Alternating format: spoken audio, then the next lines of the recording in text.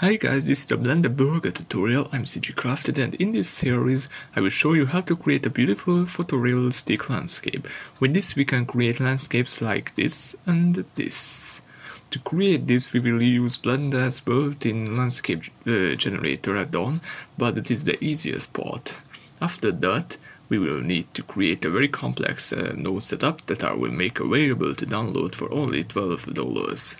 Naturally, I will show in the tutorial series how to create the node setup for the terrain, but you know you might not want to spend so much time on this, so buying it is another option.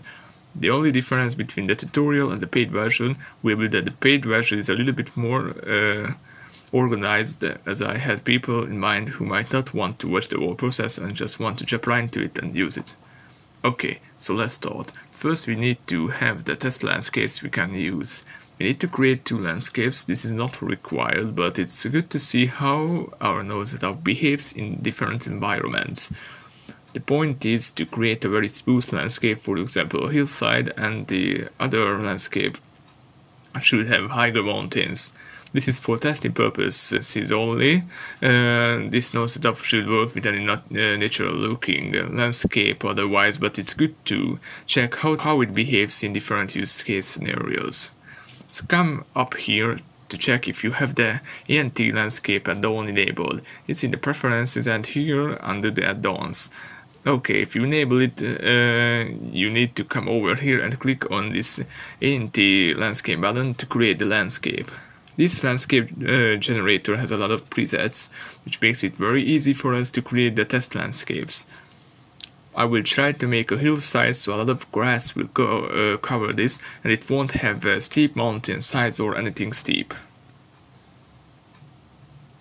Okay, let's see. This is the option window for the landscape. Let's try this. I want to make the spruce landscape first. Let's change some settings. I will try to change the noise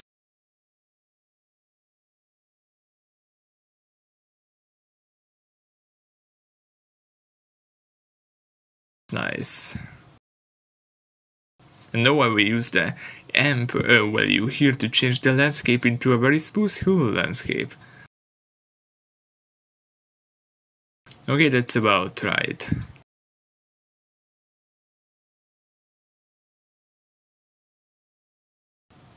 Okay, now that we are done, click away to finish the creation process.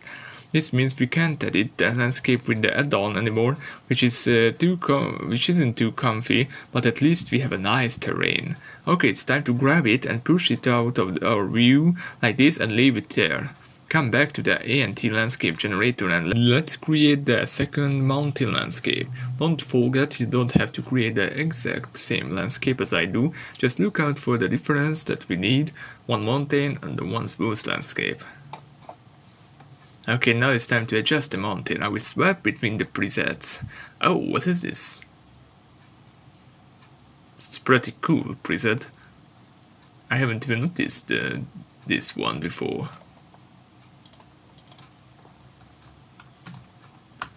Okay, I got distracted a little, let's continue. I will use the mountain preset and use this noise type to create the mountain. Also, I don't want it to be unrealistically high, so I will reduce the height. That seems right.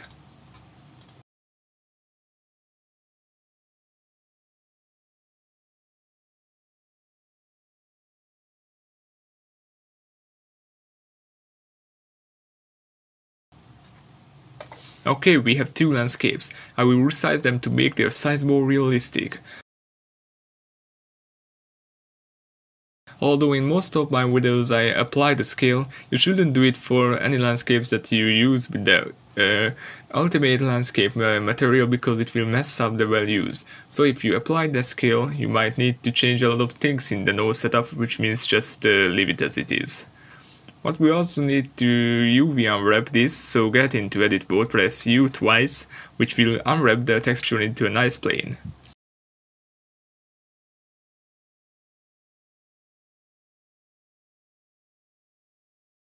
To check if everything is fine, swipe this down here to a UV editing view. See, the texture seems okay. Do the same to the other landscape. Also, I'm in shading mode as you can see probably on the screen.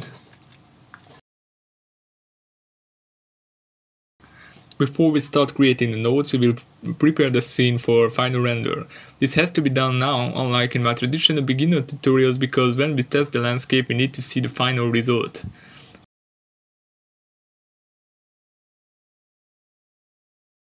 Go to Cycles Render in your Render tab and change the feature set from supported to experimental.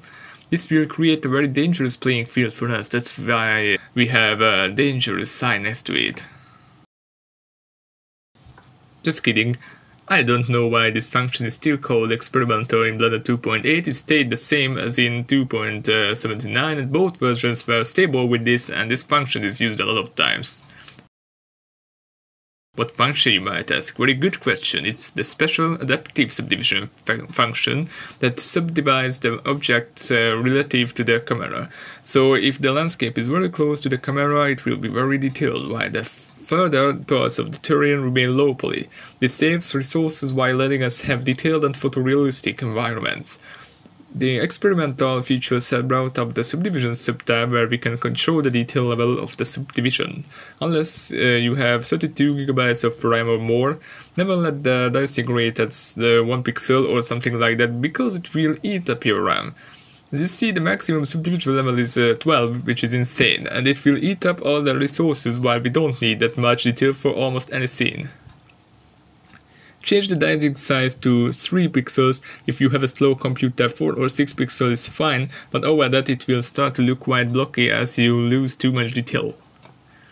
The preview can be 14 pixels, this means we will have even less detail while we preview the uh, render, which you know is totally okay for preview. Okay, this is enough, now it's time to add our new subdivision modifier, which has expanded its uh, functions. Click on Adaptive Render and leave it as is.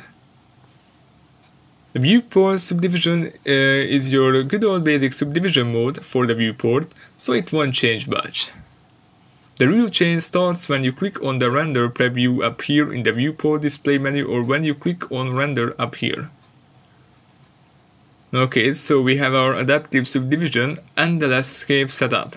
For today this is enough, but the next episode will be up shortly where we create the actual node setup. Hope you like this video, make sure to turn on notifications to see the newest tutorials.